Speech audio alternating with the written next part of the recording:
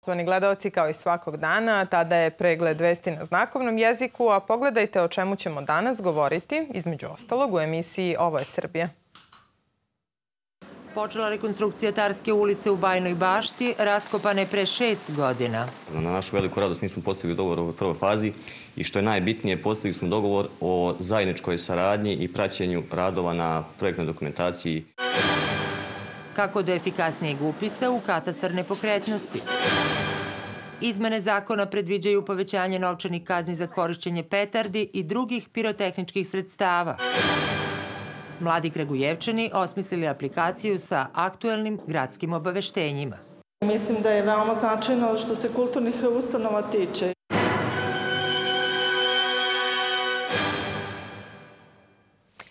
Stanovnici Tarske ulice u Bajnoj bašti jutro su protestovali ispred opštinske zgrade tražeći da se završi rekonstrukcija njihove ulice započeta još pre šest godina.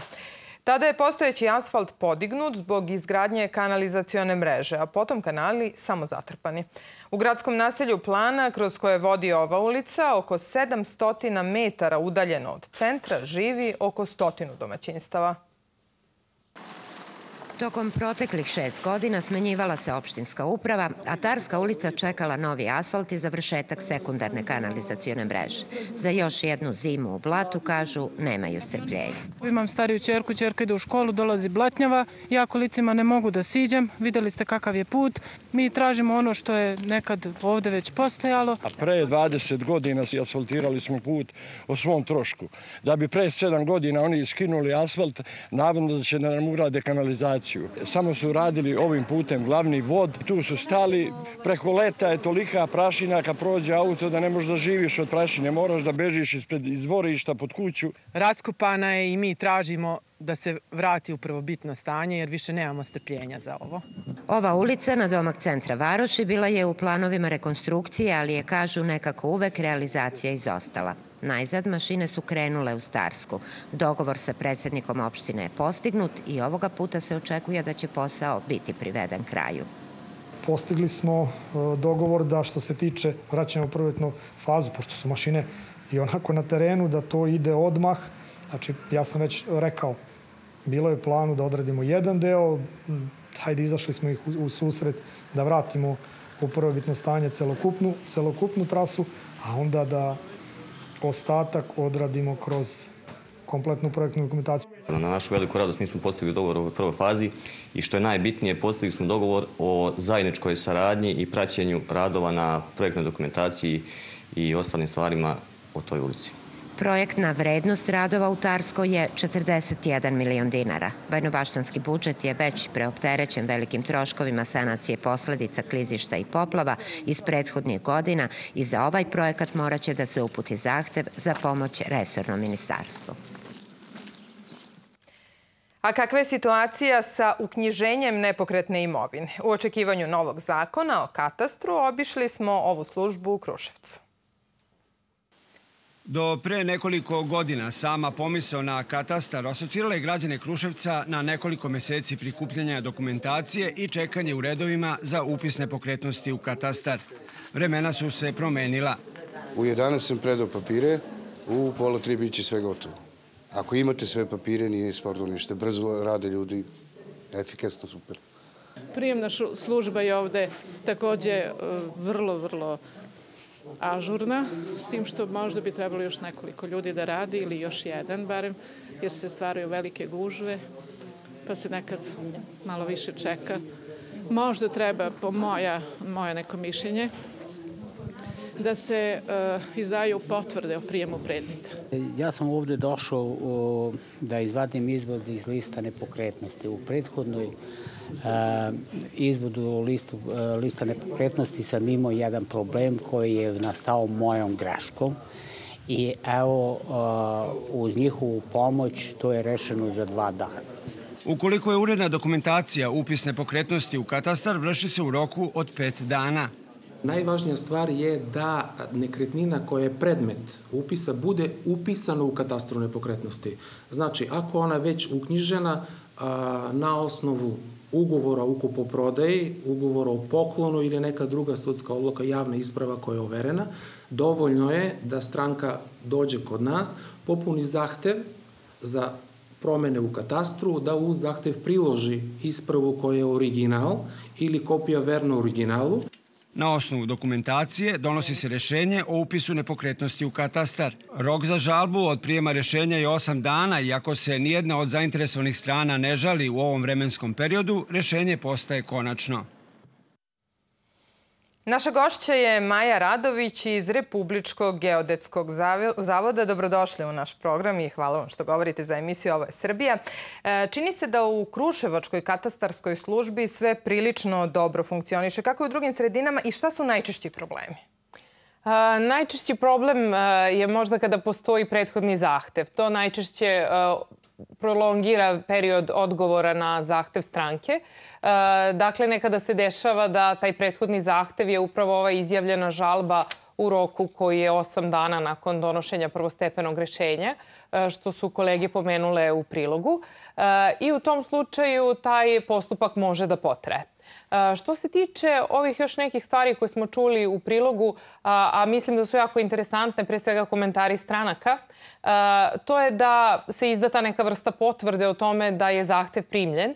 Ono što je veoma važno da kažemo to je da smo mi sada uveli jednu novu metodu u radu sa strankama, a to je da se sva dokumentacija prilikom prijema zahteva skenira na takozvanim brzim skenerima, što znači da se kasnije sva dokumentacija kroz rešavanje predmeta obrađuje elektronski i tek kada se završi predmet i njegova obrada, ponovo se to rešenje štampa u papirnom obliku i stranka dobija rešenje u papirnom obliku. Ali, dakle, kroz ovo skeniranje omogućeno je da sva dokumentacija koju je stranka predala ostane na jednom mestu u bazi, tako da nema sada dileme da li se neki dokument zagubio. E, bilo je dileme i kome se obratiti oko prodaje nekretnina advokatima ili notarima? Što se tiče e, potpisivanja ugovora prilikom kupoprodaje, e, neophodno je da taj ugovor bude overen kod notara. E, nezvanično se procenjuje da ima desetina hiljada lica koji dalje imaju imovinu na svoje ime. E, da li je to tako i zbog čega je to tako? E, pretpostavljam da se to odnosi na osobe koje su nažalost preminule. Preminulih osoba, tako, tako je. To se nažalost dešava jer stranke ne shvataju da nakon ostavinske rasprave i donošenja ostavinskog rešenja njima predstoji još jedan korak u ostvarivanju njihovih prava na nepokretnosti, a to je dakle upis u katastar nepokretnosti. Mi u katastru bez stranke koja podnese zahtev ne možemo da znamo da je došlo do promene imaoca prava na nepokretnosti i dakle neophodno je da se obrate nadležnoj službi katastra u onoj opštini gde se nalazi nepokretnost koju su nasledili. U skupštinskoj proceduri je novi nacrt zakona. Da li bi to trebalo i u kojoj meri još da pojednostavi sve ovo? Dakle, značajno ćemo imati unapređenje rada katastra sa novim zakonom, pre svega zato što će mnoge radne procedure i radni procesi biti značajno skraćeni. Zakon će prosto omogućiti da se smanji i period odgovora na zahtev stranke, a takođe i ta mogućnost da se iznova iz naših predmeta stvaraju novi predmeti, jer u ovom trenutku svaki put kada prvostepena komisija, to je prvostepeni organ donese rešenje, moguće je podneti žalbu, gde mi posle te žalbe ponovo odgovaramo u prvostepenom postupku i onda se tu pravi jedan mali zastoj jer ima dosta zloupotrebe ove mogućnosti za žalbu na drugom stepenu, te na taj način, da tako kažem, komšije jedne druge koče e, ili već stranke koje su u postupku. Hvala vam što ste bili gošće naše emisije. Gost emisije ovo je Srbija, Maja Radović iz Republičkog geodetskog zavoda.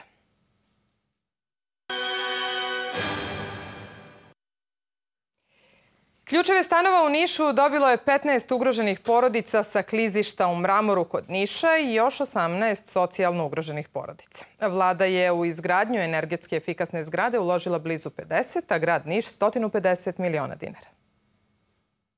Više od 10 godina porodice sa Mramorskog klizišta čekaju na rešenje problema. Iako zbog administrativnih prepreka još uvek nisu dobili stanove u vlasništvu, za njih je ovo srećan dan. Četvoro dece, osam člana porodice. Ja sam sasvim zadovoljna. Živeli smo baš u teškoj situaciji. Nismo verovali zato što deset godina se mi mučimo po tuđim stanovima. Čak si, meni je i suprug umro. Mitrovići će dugogodišnji život u Vešernici zameniti ovim stanom. Uslovima zakupa za socijalno ugrožene su, kažu, zadovoljni. Odgovaraju sigurno više nego da sam podstanar. Prvo što, da kažem, siguran sam dokle god se plaća, nema ko da mi istera. Ako ono, poštujem ugovor i sve. A, evro i 20 je po kvadratu. U Nišu će se na ovoj lokaciji graditi još tri lamele. Ministarka građevinarstva Zorana Mihajlović rekla je da će tako biti u celoj Srbiji. Od Kikinde, Stare Pazove, Pančeva, Zrenjanina, e, zatim Kraljeva, Čačka, pa evo i Niša. I verujem da e, naredne godine će biti mnogo više e, događaja gde ćemo se sretati i takođe davati ove ključeve. Vlada će nastaviti da ulaže u infrastrukturu Niša od aerodroma preko koridora do elektrifikacije i izgradnje zaobilazne pruge, a potpisivanje ugovora vrednosti 250 miliona evra očekuje se do kraja godine. Privredni apelacioni sud u Beogradu još prošle sedmice poništio je rešenje o stečaju u Srpskoj fabrici stakla u Paraćinu, ali se 230 otpuštenih radnika još nije vratilo na posao. Oni su se okupili ispred upravne zgrade tražeći objašnjenje. Stotinak otpuštenih radnika Paraćinske staklare zatražilo je od rukovodstva fabrike informaciju kada će se vratiti na posao. Kažu da su im kartice za ulazak u krug firme i dalje blokirane. Osam dana od ukidanja stečaja nemaju nikakvu informaciju šta će sa njima biti. Još jednom da se zna da smo za svo ovo vreme dobili 20.000 dinara preko biroa. I to je sve. Ne poštuju odluku apelacijonog suda koji je ukinuo presudu Privrednog suda iz Kragujevca.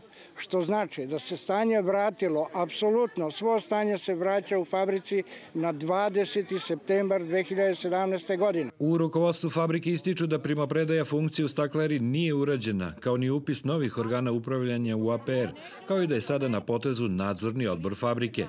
Ja vam se obraćam sada kao direktor proizvodnje. Do danas nemamo još uvijek nikakvu zvaničnu informaciju, niti od nadzornog odbora, niti od bilo koga, znači da možemo bilo šta da odlučimo vezano za vaš status. Paraćinska staklara radi, proizvodnja je normalna, ali su sirovine na izmaku i u sadašnjem vakumu, dok se novo rukovodstvo ne izabere, nemoguće ih je nabaviti. Veoma je redak slučaj da privredni apelacioni sud poništi već uveden stečaj, a ta činjenica dodatno komplikuje i onako tešku situaciju u srpskoj fabrici stakla.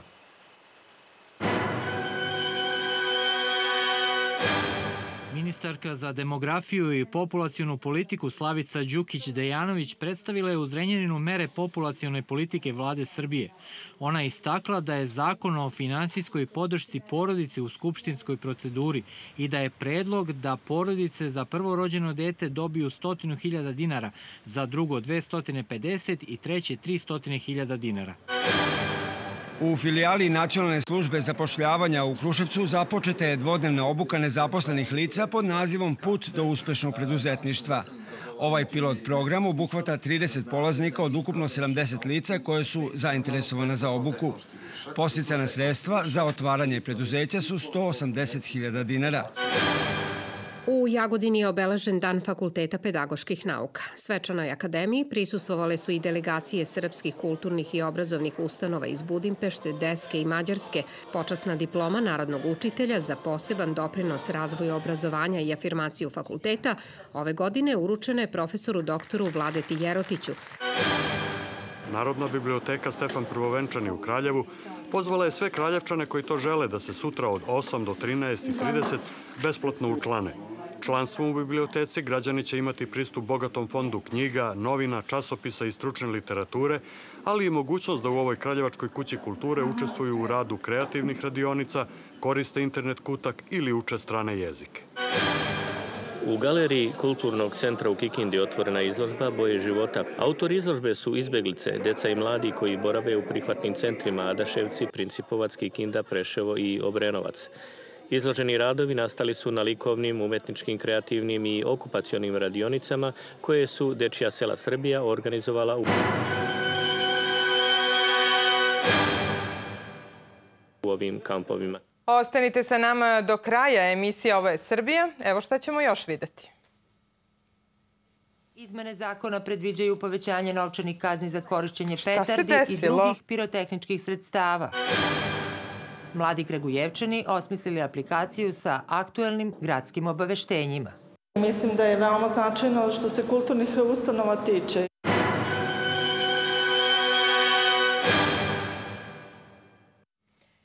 Dom zdravlja u Kuršumliji ovih dana u žižu javnosti dospeo je nakon što je na jednom lokalnom internet portalu objavljena slika isporuke nameštaja kolima hitne pomoći direktorke ove ustanove.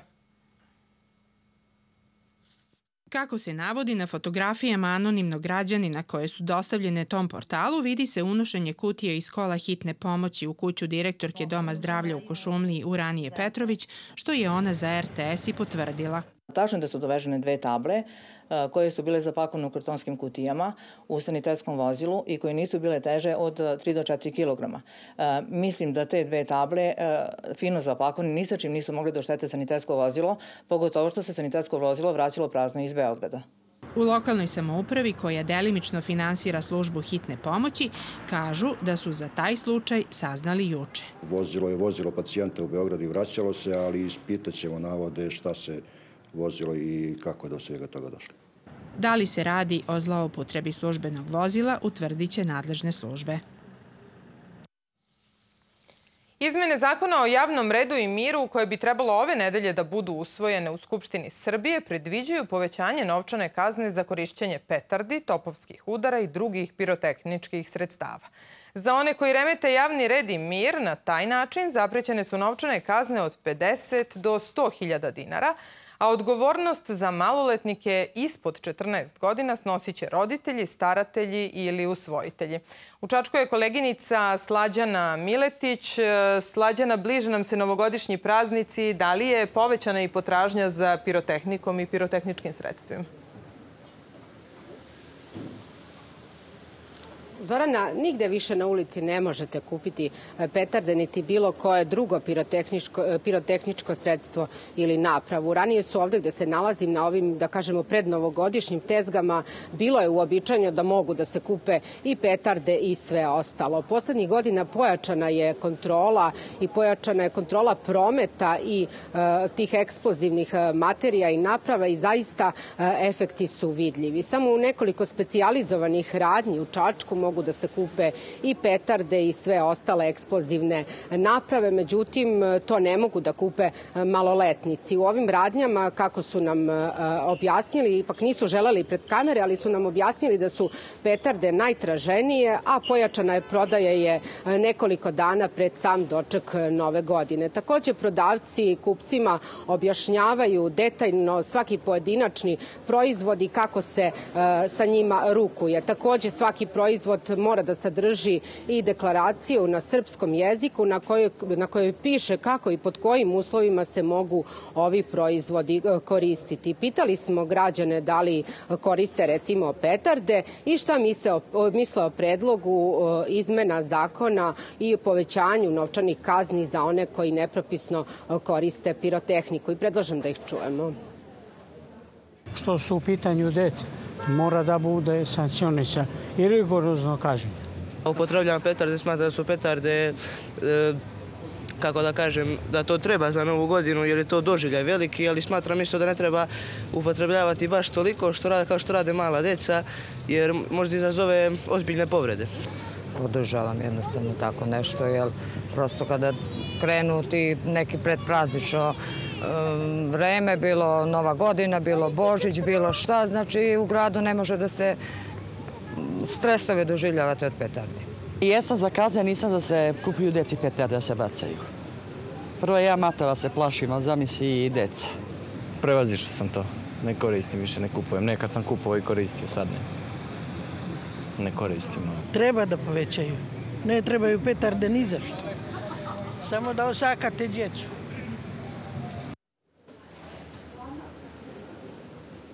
Kako smo saznali od nadležnih na dočeku ove 2017. godine i tih prazničnih dana, bila je manja upotreba pirotehnike nego ranije. Inače, pripadnici sektora za vanredne situacije MUPA Srbije redovno i vanredno kontrolišu promet eksplozivnih naprava i sredstava, a tokom recimo dočeka nove godine organizovana su i dežurstva na gradskom trgu gde je obično taj doček na otvorenom. I pored svih mera kontrole i prevencije, svake godine, nažalost, ima slučajeva povređivanja i samopovređivanja, pre svega od petardi, pa nije na odmet upozoriti i podsjetiti da petarde ne treba da koriste deca. Ako se već ispaljuju, nikako ih ne treba e, zadržavati u rukama, niti bacati na lako zapaljive podloge poput recimo suve trave.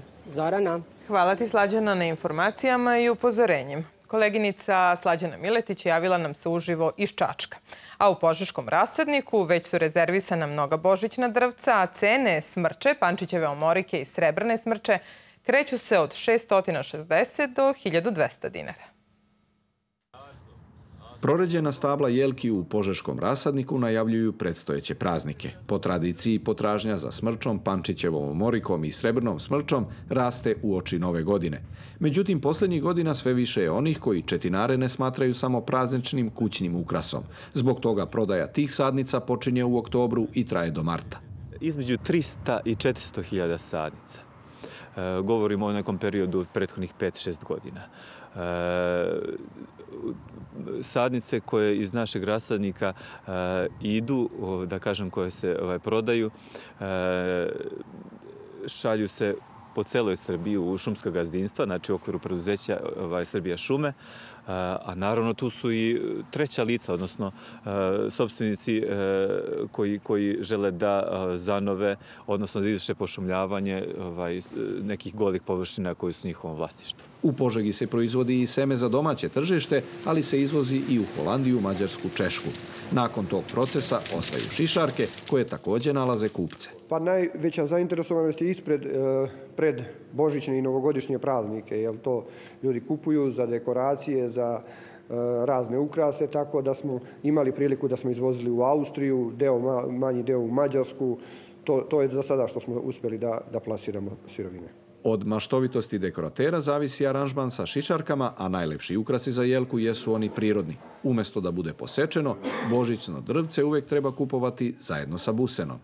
A nakon praznika, oni koji su se opredelili za prirodne sadnice, treba da ih vrate i tamo gde pripadaju, prirodi.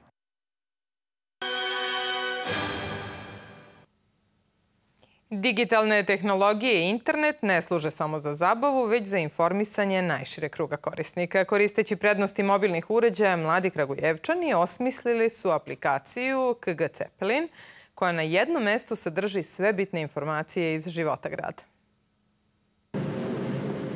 Pogledaj šta ima od ovih kulturnih događaja u gradu. Ima izložba u Galeriji Mostovi Balkana. Jel idemo? Da. Nekada plakati, bilbordi, pozivnice, danas mobilne aplikacije. Mladi se najčešće informišu putem interneta. U porastu je upotreba pametnih telefona, pa su Petar i Sofija jednim klikom pronašli događaj koji ih zanima. Na aplikaciji smo mogli da vidimo da, da u samom centru grada mi možemo da dođemo da pogledamo neke stvari od raznih dešavanja. Omogućuje nam da na jedan brz i efikasan način dođemo do većeg broja informacija koje se konkretno svakog pojedinca tiču. Aplikacija KG Cepelin građanima i posetiocima Kragujevca pruža kompletan uvid u aktualne događaje iz različitih oblasti, od zabave, kupovine, usluga do obrazovanja i kulture.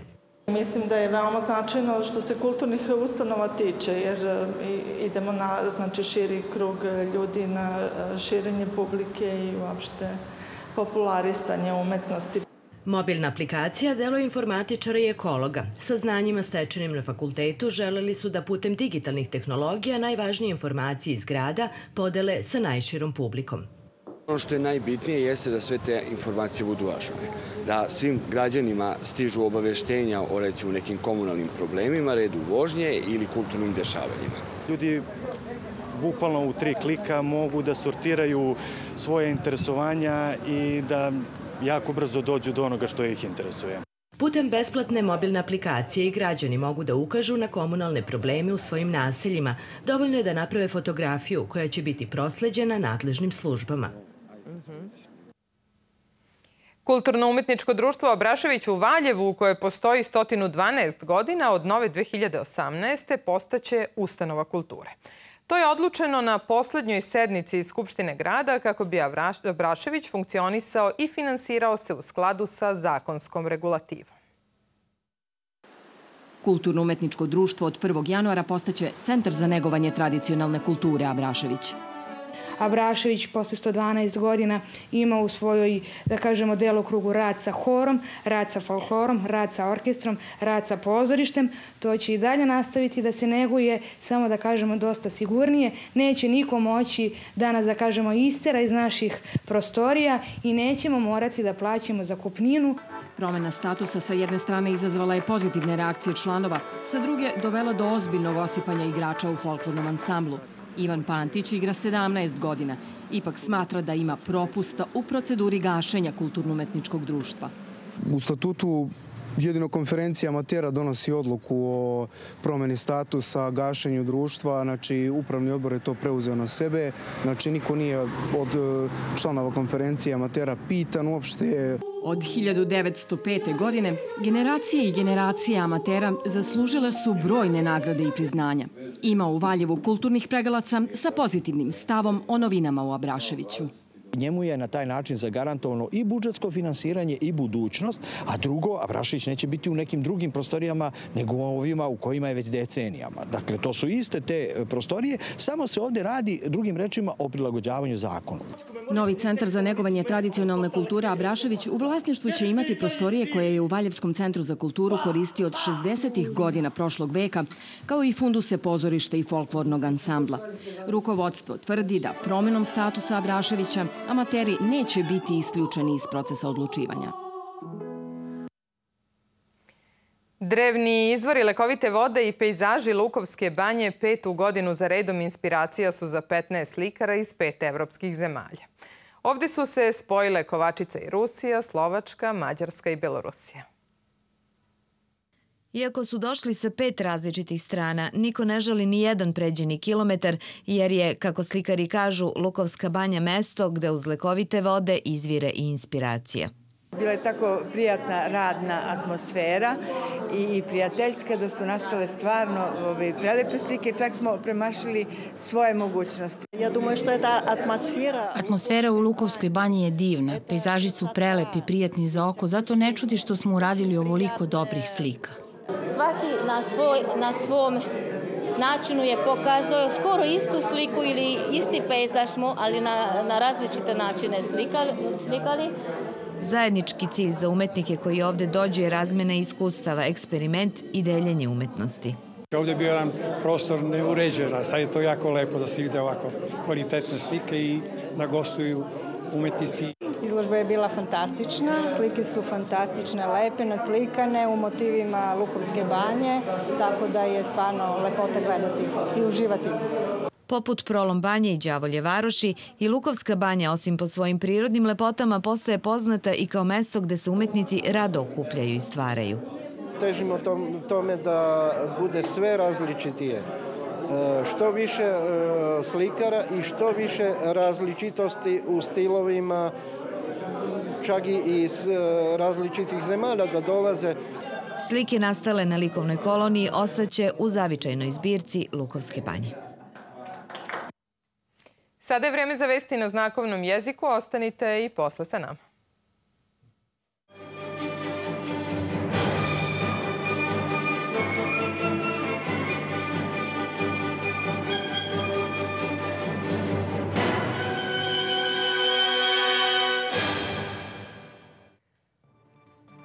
Srbije je od najvećeg interesa stabilna, snažna, uspešna i mirna Bosna i Hercegovina koja se razvija.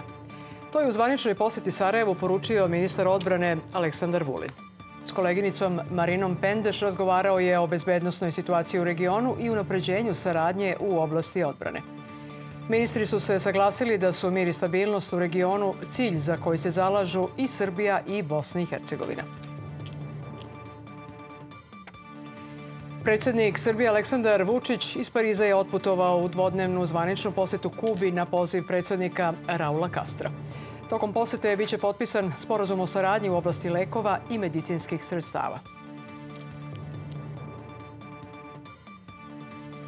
U nacrtu rezolucije pripremljenom za današnji samit muslimanskih lidera u Istanbulu navodi se da je Istočni Jerusalim prestonica države Palestine i sve zemlje se pozivaju da priznaju državu Palestinu i Istočni Jerusalim kao njenu okupiranu prestonicu. Odluku Vašingtona o priznavanju Jerusalima kao prestonice Izraela smatraju znakom da se Sjedinje američke države povlače iz svoje uloge pokrovitelja mira na Bliskom istoku. Rusija je pozdravila izjavu američkog državnog sekretara Rexa Tillersona da su Sjedinje američke države spremne da počnu direktne pregovore sa Severnom Korejom bez preduslova. Iz projekta izgradnje socijalnih stanova u Nišu uručeni su ključevi za 33 stana. Time je rešeno stambeno pitanje 15 porodica sa klizišta u Mramoru kod Niša, a ključeve je dobilo još 18 socijalno ugroženih porodica. Posle uzbudljive i uspešne evropske jeseni, futboleri Partizana i Crvene zvezde završavaju polusezonu 156. prvenstvenim večitim derbijem. Crnobeli imaju 9 bodova manje od vodeće zvezde. Utakmica na stadionu Partizana počinje u 18 sati. U Srbiji sutra oblačno i toplo, ponegde sa slabom kratkotrajnom kišom, na visokim planinama sa snegom. Jutarnja temperatura od 0 do 5, dnevna od 11 do 14 stepeni.